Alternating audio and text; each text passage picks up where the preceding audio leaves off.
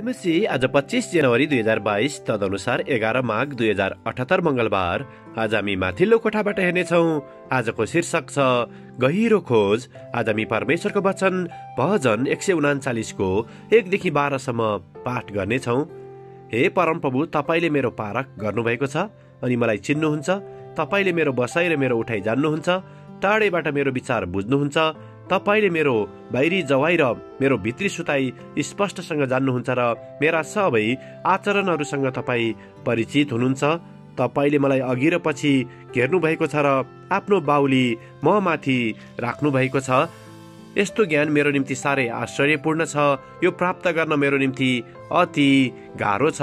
तपाईँका आत्माबाट म कहाँ अलग्ग जान सक्छु अथवा तपाईँको उपस्थितिबाट म कहाँ भाग्न सक्छु? म आकाशमा गएँ भने तपाईँ त्यहाँ हुनुहुन्छ गहिराईमा आफ्नो ओछ्यान बनाए भने त्यहाँ पनि तपाईँ हुनुहुन्छ। प्रभातको पखेटामा उडेर समुद्रको पल्लो किनारमा गएर बसे भने पनि त्यहाँ पनि तपाईँको बाहुलीले मलाई डोर्याउनेछ र तपाईँको दाहिने बाहुलीले मलाई पक्रिराख्नेछ। आमेन। भजन एक सय उनाचालिसको तेइस र चौबिसलाई लेखिका यहाँ जोड दिनुहुन्छ।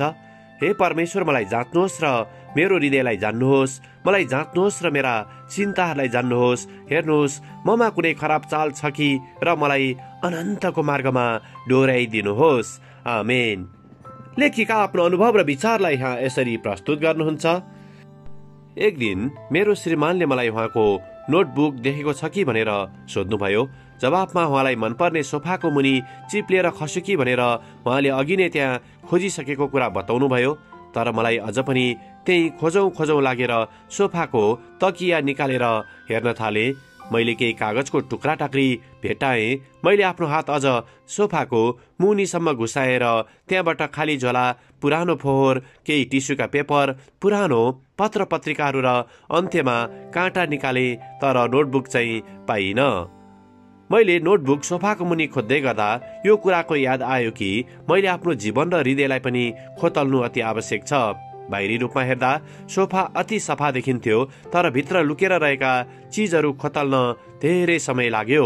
यस्तै मानिसले मलाई हेर्दा केवल बाहिरी कुरा मात्र देख्दछन् तर म भित्र रहेका पापमय स्वभाव मेरा चरित्रहरू र भावनालाई देख्दैनन्। माथिको वचनमा पनि भजन लेखकले उहाँलाई जाँच्न उहाँको हृदयलाई जान्न र उहाँका चिन्ताहरू जान्न प्रभुलाई आग्रह गर्नुभएको छ।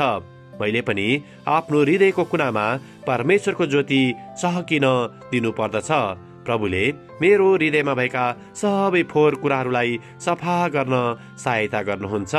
आमेन। आजको विचार हाम्रो जीवनको अँध्यारो कुनामा पनि प्रभुको ज्योति चम्कन्छ। प्रार्थना प्यारो प्रभु धन्यवाद तपाईँको दृढ प्रेमको लागि। प्रभु हाम्रो हृदय र जीवनलाई जाँच्नुहोस् र सधैँ तपाईँको आज्ञाकारी हुन सहायता गर्नुहोस्। यसुको नाउँमा आमेन। आजको लेखिका क्यारोल हेरिसन क्यानाडा। आजको प्रार्थनाको विषय प्रभुको प्रेमप्रति कृतज्ञताको लागि।